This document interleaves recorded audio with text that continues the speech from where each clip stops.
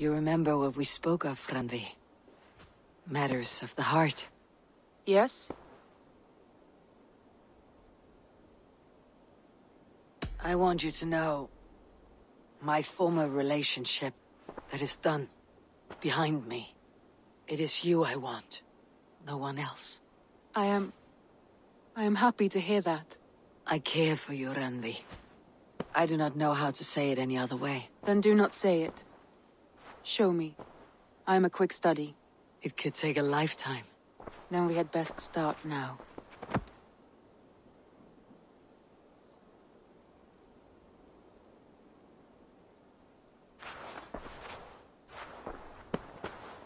Should we take this to your chamber?